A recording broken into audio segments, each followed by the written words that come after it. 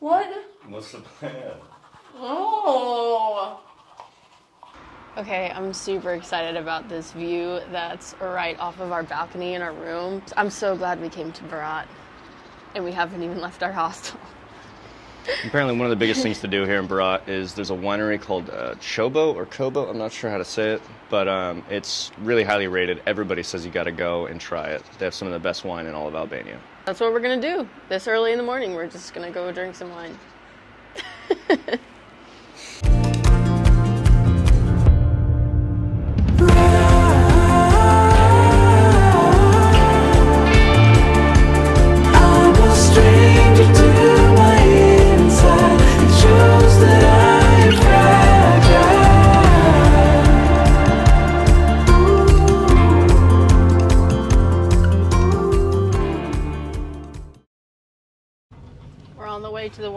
right now. Oh man. It's 20 minutes away. Uh, I think I forgot to turn on the mics uh, the last time, so. Oh no. Rip. 20 minutes driving here is honestly, it, it's exhausting as like three or four hours worth of driving. You don't realize how easy it is to drive in America until you go somewhere else. Like it's so easy to drive there. Anybody could do it. Here, it's like a whole different ball game. You know. Goats in the road, sheep in the road, people crossing the highway. There's no lanes. There's no lanes here either. It's like anybody could drive anywhere as long as you know you're brave enough. Okay, so we have arrived at the winery and we're about to do a tasting. We got a quick little tour of the place. Um, first wine tour I've ever done. I'm not sure what to expect, but it looks really, really cool. There's giant vats downstairs and giant barrels aging wine right now. Huge barrels aging wine. And it has 4,000 liters of wine Which is like a thousand in gallons, I that one barrel, which is crazy. And we decided to go with the higher class tasting. So it's 28 euros per person, but we're gonna split like one person because I gotta drive. I'm excited try it. So the olives are like uh, local from Berat because yes, Berat is like very famous for the olives.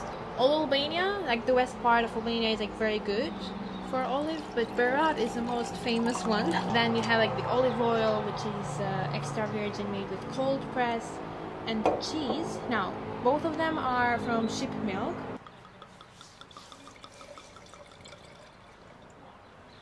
All right, this is the first one. It's a white wine. I forget exactly what the name of it was, but here we go. Mm, it smells really fresh.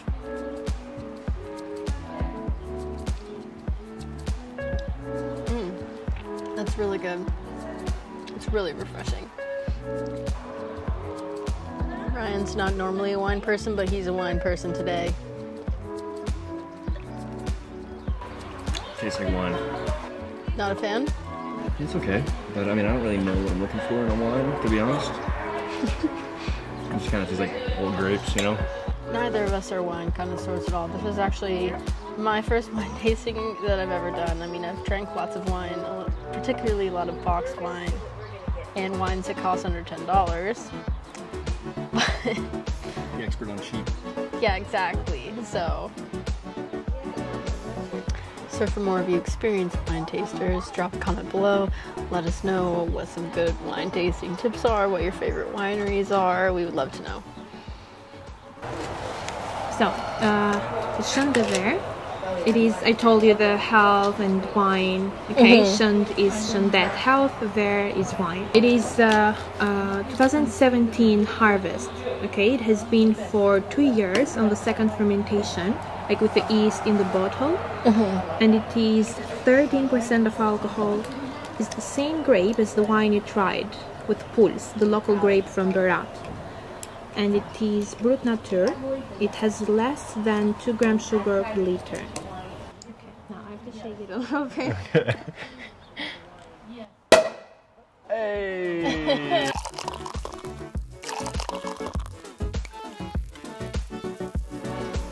Chandever, Dever. Gëzuar.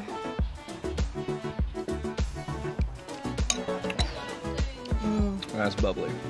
That's really good though. Yeah, that's definitely the best champagne I've ever had. It's definitely like more sweet God, than I really expected. Um, they said that all of their wines here are very dry, but the grapes apparently become more sweet because the amount of days of sun that they have in this country. It's sunny 300 days out of the year. So, It makes sense why they have good wine here then.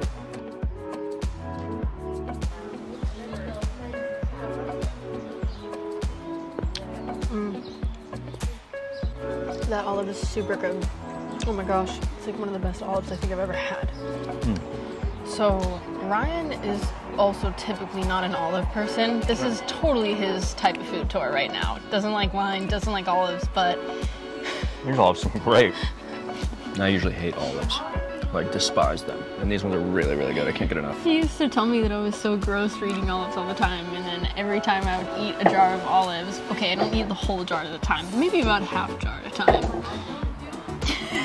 okay, okay, I'm not that bad, but he would never want to be near me when I was eating olives. Not ones are even- different though. Not even within like 10 feet. Cat number two is over there. Cat number three. it's like a cat cafe here. They just want our cheese though. Keep messing around, you get your nose scratched again. Hey. Oh my gosh.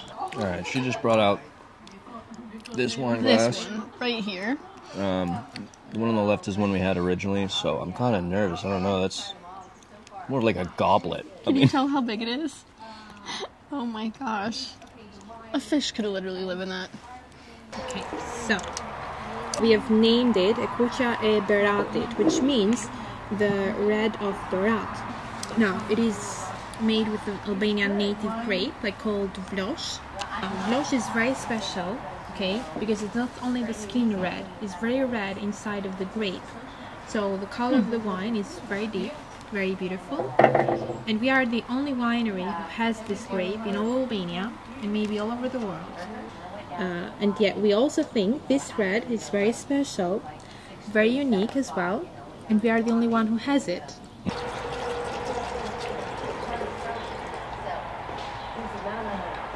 A little bit. Okay. So this is why the, the glass is so big. Okay, this is the wine she just poured us. It's like one of those wine glasses from those memes where people just put an entire bottle of wine and just drink it all. it's one glass. You want to smell it? smells really good. Okay, here we go.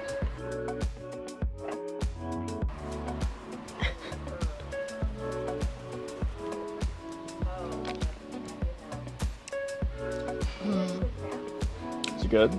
Yeah, it's really good. I love the story behind this wine. I think it's so cool that um, it has a connection to the town where these grapes are grown. Right. And um, And it's exclusive Yeah. to Berat. This is like a true feeling, like an authentic experience in Berat. you Yeah, know? exactly. That's you're not going to get anywhere else. all right, your turn. My entire head could literally fit in that I mean, glass. like, look at that. It's like bigger than my head, literally. Tastes good. To me, it's tough because it's just every wine just tastes like wine, and I don't really know what to look for. Typically, don't enjoy wine that much, but that's actually pretty good. Um, I wouldn't say that I would go out of my way. I think I'd probably rather drink Raki.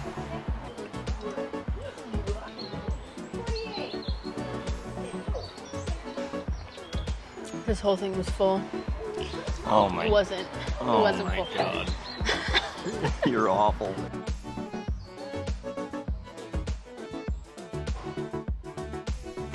Buzzed. have to get a freaking stretcher to get you out of here. It smells like ice cream. What? Okay, so we are trying the first wine from this particular winery. It's their original. It's a mix between, she said, Cabernet and Merlot. Mm. That one's really dry. It's very good. It's it's more dry than the last wine. I can't tell which one is my favorite though. I think they're both about the same, to be honest. Maybe we'll know a few sips in. Okay, so we've tried four wines so far two red, two white, and now we are going to try a Raki which is Ryan's star moment. He's been obsessed with Raki since we got to Albania. Definitely gotten more used to Raki since the uh, first time we tried it. If you have seen that episode, we struggled pretty hard. And if you haven't seen that episode, Americans Try Raki, we'll put the link right here so you guys can go check that one out after this video. This is Raki with walnut, with also some other herbs. Uh, 39% of alcohol. My time to shine, boys. It's much darker than any other Raki we've had, for sure. But apparently, it takes the color from the walnuts that it's like uh, distilled with. I guess the green skin of the walnuts gives it its flavor and its color. Let's see. Wow, it has a ton of flavor. Really? It doesn't taste like any Raki we've ever had. Really? Okay, Yeah. I'm excited. It tastes completely different. It's really good, actually. Okay. It's- It tastes like a licorice root a little bit. oh my gosh. Really smooth, right? It's like really, really smooth. What the heck? Okay, this Raki's so good. Kind of want to get a whole bottle. Now, here's the thing.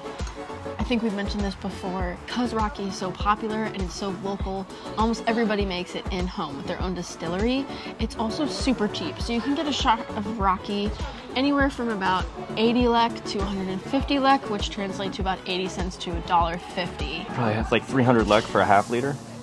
Right, or Um, about 500 for a full liter. Right. It's super inexpensive, but it's also really good. Nothing's compared to this one, for sure. Oh. Anybody that tells you Raki doesn't give you a hangover, they're out of their mind, or they didn't drink enough of it, because it will ruin your next day bad.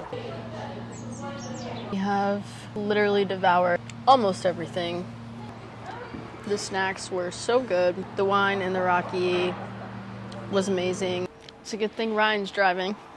This concludes our wine tasting at Çobo Winery.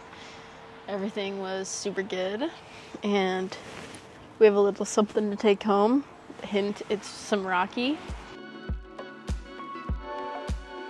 So, what's your favorite word in Albanian so far? Me? Yeah. talking to me? Yeah, I'm talking to you. It's actually a hard question.